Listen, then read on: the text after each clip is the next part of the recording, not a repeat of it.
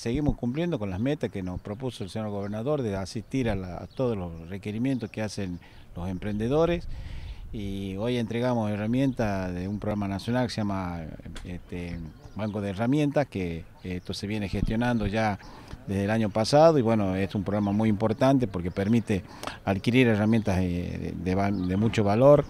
Y hoy se entregaron para el sector este, costura, para el sector este, peluquería, este, mucho de gastronomía, también se ha visto muchas herramientas, también construcción, y es lo que está pidiendo la gente, y entonces nosotros hacemos las gestiones y, podemos ir dando este, satisfacción a este grupo de gente. Y también entregamos los proyectos de Emprender, que es un programa provincial, a donde también se asiste a los requerimientos del pedido de eh, herramientas que necesitan para seguir este, eh, fortaleciendo sus propios emprendimientos y que creo y estoy sumamente convencido que este programa es muy importante teniendo en cuenta de que se está reactivando la economía y esto hace de que los emprendedores requieran este, todas las herramientas que ellos necesitan para seguir creciendo, como la demanda va este, haciendo necesario eh, fortalecerse. ¿no? ¿Cómo hacen los interesados, los emprendedores? ¿Cuáles son los requisitos a cumplir para tener estas herramientas de trabajo? Bueno, más o menos eh, los dos programas tienen una similitud, eh, tienen que hacer la nota dirigida al ministerio, a donde se acredita el producto que ellos necesitan adquirir, eh, se, hace, se busca un presupuesto aproximado, este, el programa hace el seguimiento de la solicitud, teniendo en cuenta si se trata de algo que ya está funcionando o, está por funcionar. Y a partir de ahí este, se hacen los trámites administrativos y hasta que nosotros después lo llamamos por teléfono al beneficiario anunciándole que ya se ha aprobado su pedido y se hace la entrega.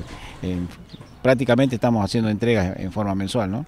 Cambio de tema, ¿cómo está la situación en cuanto a la ayuda social, en cuanto a la ayuda para los comedores en la actualidad? Y hacemos todo lo que está este, previsto, estamos eh, eh, dividido en cuatro secretarías, el ministerio, este, eh, cada una tiene una función específica y bueno, la área que usted hace mención, que la que está eh, manejando Gonzalo Mascheroni, el que hace el recorrido por todos los comedores, tanto este, formales, informales y escolares, estamos asistiendo normalmente, este, dando cumplimiento a lo que este, los compromisos que tiene el ministerio, así que en ese sentido está funcionando bien. Y ustedes ven también que en el ministerio todos los días hay gente solicitando ayudas este, económicas transitorias que tienen que ver con alimentación, como lo hace Acción Social Directa, que está atendiendo todas las demandas de la cuestión alimentaria y, algunas cuestiones de ayuda como para sostener alguna demanda de la vivienda o camas o colchones o artículos que son em, eh, prácticamente imprescindibles y que la gente la está solicitando en el Ministerio y estamos tratando de satisfacer toda la demanda. ¿no?